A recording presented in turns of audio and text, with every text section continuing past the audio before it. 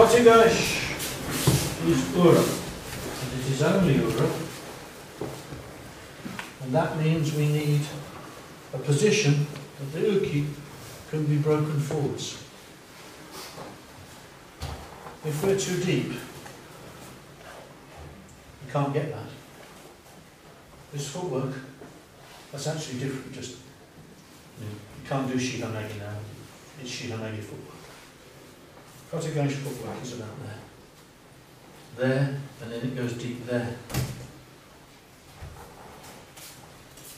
So, you can no rehab. There were three, so thank you. So three. You ready, Megan? Kotigash. Shihonage. So it's increasing the amount of turn. Do the Kote gaeshi halfway towards the Shihonage, this footwork won't work. That's, that's you want to see.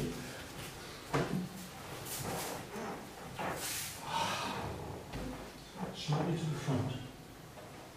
If you're behind, this draw doesn't work any more than Ikkyo Ura is tipping them forward. It's not round, it's not round like this. It's forward. So Kote gaeshi is also, because it's a Allura, it's forward.